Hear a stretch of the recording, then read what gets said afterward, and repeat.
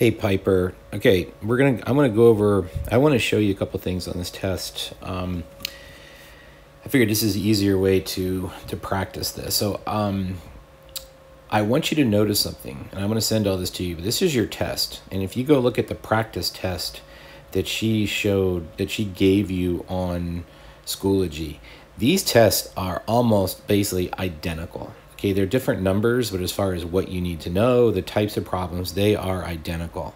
Okay, this is the test that I suggested you do and you didn't do it. Okay, you did the practice that she gave you in class. This is extra stuff she's posted. And this is, if you had done this and done well, I think you would have done much better on this test. So we're going to use this practice test as your practice to get ready for this re-exam. I'm also going to be sending you this document, which is a bunch of practice okay and you're going to be working on this over the next couple days. So i'm going to go through some of this with you but this is what we're going to use to help get you ready. So let's first look back at your test. I want to go over you, you made a lot of really silly mistakes okay and things that i know that you know better. So i just want to point out some of these and then we'll do some practice examples. But okay look right here. You have combining like terms 3x squared you circled everything right Okay, this is addition. 3x squared plus 5x squared is 8x squared. You got 15 by doing multiplying. Okay, at the same time, look at this. You circled negative 5x squared and negative 3x squared. That's perfect. You did the exact same thing. Negative 5 minus 3 is negative 8. How did you get plus 3? Okay, so those are silly mistakes. So this just tells me you're not really thinking through. You're just going through the motions. Look right here.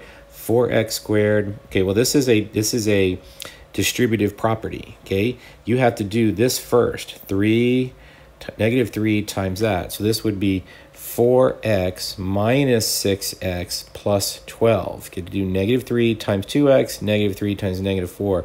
Then you would combine these. That'd be negative 2x plus 12. Okay, you have to do the distributive property first. And you know this right here. You know that squared is 2x minus 5 times 2x minus 5. And then you would do your FOIL. Okay, so have to be, or you can do the box me method if that helps you. Okay, if you do the box method, it would be 2x minus 5, 2x minus 5. So that's 4x squared. That's going to be negative 10x negative 10x plus 25. And so you're going to add those. So it would be 4x squared minus 20x plus 25. That's what that is. And you know how to do that. PEMDAS. Okay, you did good here. But look right here. Negative 100 plus 25. That's seven. That's negative 75. You don't add. You can't add those two together. And I know you have no calculator in here, but you're allowed to use that little simple calculator. So if you're not using a calculator on this, that she said you could use the calculator. You can't use your graphing calculator.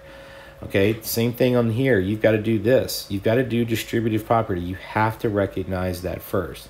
So that would be 10 minus 12 plus 21.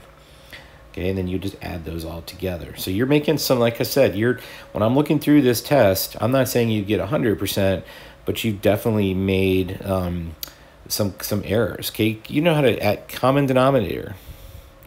Okay, you've got to find a common denominator in this. The common denominator was 15. So you times each of this by 3, each of these by 5.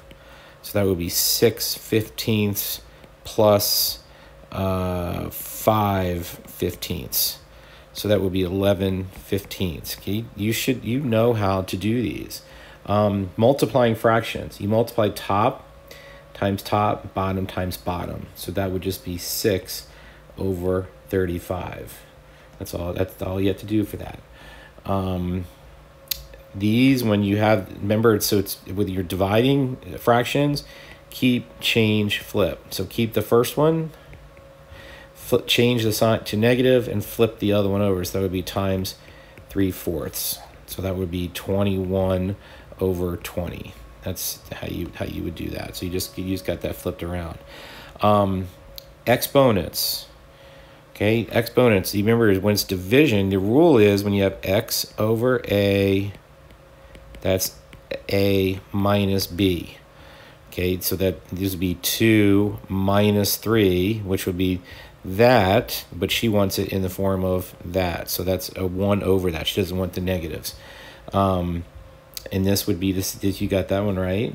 Okay, and this one you've got to multiply, you're multiplying, you got to multiply this. So that's going to be 8, which you got, but x to the fourth times x to the second is x to the sixth. Okay, you when you multiply exponents, you add them together. Um, except here, when you square it outside, then you multiply. So that would be 7 squared, and then 2 times 5, which would be multiplied. So that'd be x to the 10th. So it's 49x to the 10th. You got to square the number inside, but then you multiply the fractions. And the same thing here, this one here, Okay, 7 over 6 to the negative squared just means 7, it'd be 6 over 7, square both numbers, 36 over 49. So like I said, you some of these you know what to do. You're just, I said, you're making some really silly mistakes. Now, I don't know whether you're just, it's, I don't know if it's the right environment for you or it's just lack of practice. Um, okay, these. These I know you may have may have struggled with, okay? So this one you did right, plug in zero.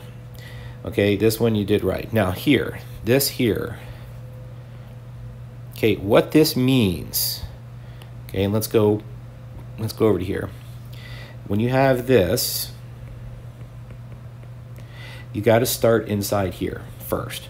So that means you take function h, and you plug in negative 1. So that's going to be, so function h is this. So substitute in negative 1,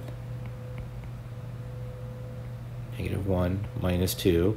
So that's negative 3 minus 2, which is negative 5. Okay, now you take this and you come back up and you have to plug it in.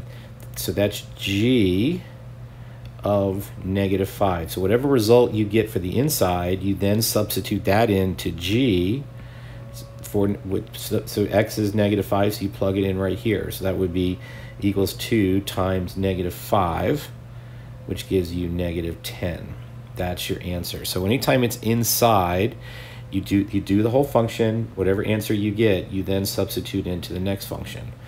So right here, this would be, you would do substitute in h, 1 for uh, x in h, then that number you would substitute into x for g, and whatever you get from that, you would substitute in for f. Okay, so in this one, h of 1 would be 3 times 1 minus 2, which is 1. So then you would do what's g of 1?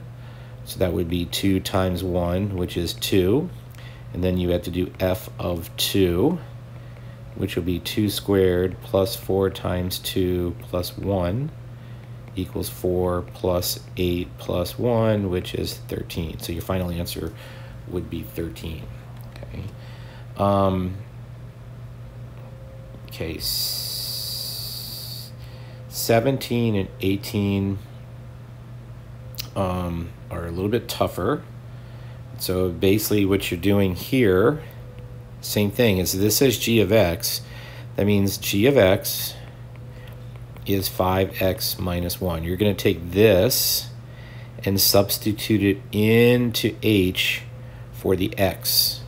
So h of g of x equals 3 times 5x minus 1. So all I did was use this for my x up here. So then this would just be, remember, do your distributive property. 15x minus 3 plus 4. I can add these two together, so it'd be 15x plus 1. That would be your final, your final answer. Okay, so that's in the same way with this one. All you're doing is saying, okay, h of x is 3x plus 4. Then so g of h of x is going to be 5 times 3x plus 4 minus 1. I'm substituting that in for x in g of x, and then just do the math. Okay, uh, 18.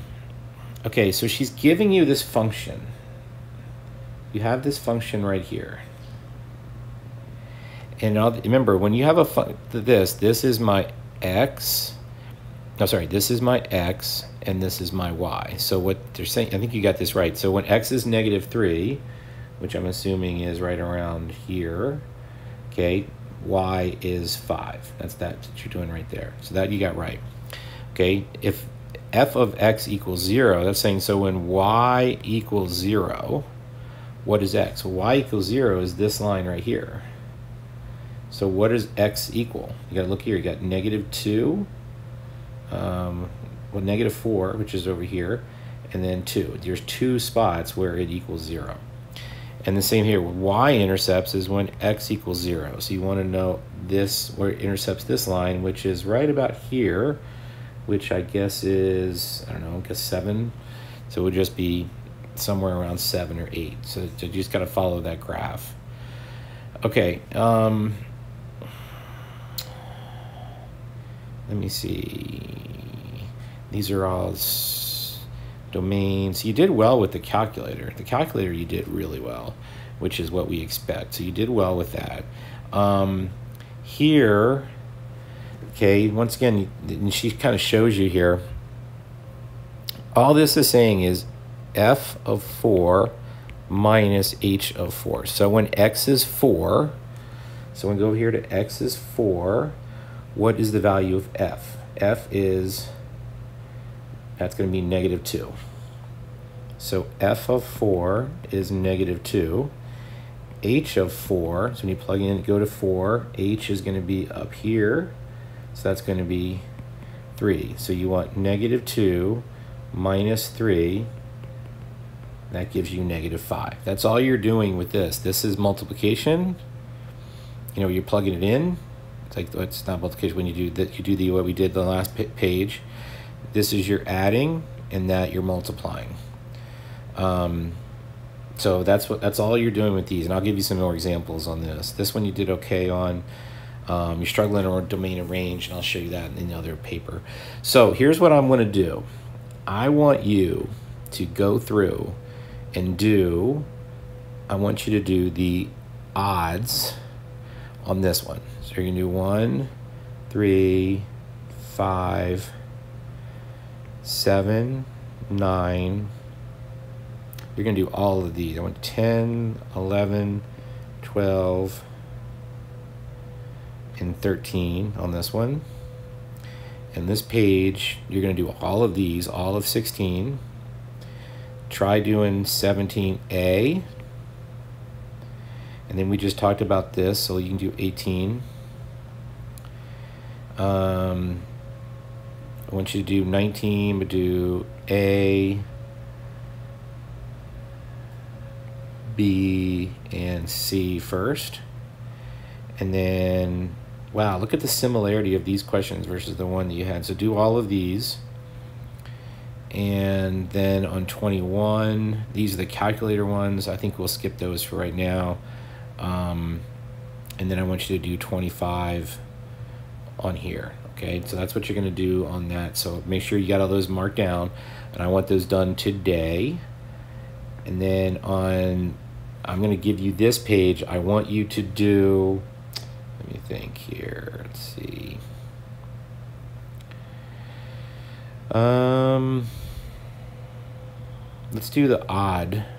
Let's do the even. Sorry, we're going to do the even to start with on this. Okay, now watch when you get over to, I'm going to do number 17, for example. So remember, this is my function. That says when x is 2, so it would be negative 5 times 2 plus 3, negative 10 plus 3, that equals negative 7. That's how you do those. And then on this back one. Okay, so function, domain, and range. Remember, domain is x, and range equals y. So what you want to know in this, what are my possible values of x? So the x is my x-axis. So what, where does it go through? My x goes from negative 9 all the way to 10. It stops because there's open dots. So my, the only possible values of x are between those two values. So I think that's because it's open, it would be negative 9 to 10.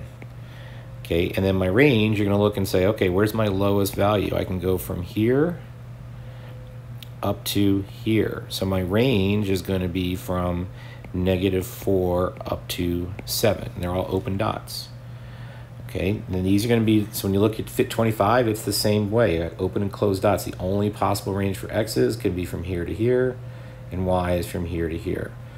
Now, watch I don't have any in here. I was going to try to get you one with that goes to infinity. I'll try to find one for that. Um, but I think you can do it on here. Let's see what her problems she gives you. Yeah, so you need to practice that on 25 on that one. Um, combining like terms. I want you to practice doing that. Okay, these should be the easiest problems for you to do. So I want you to practice that. Do practice doing the distributive property.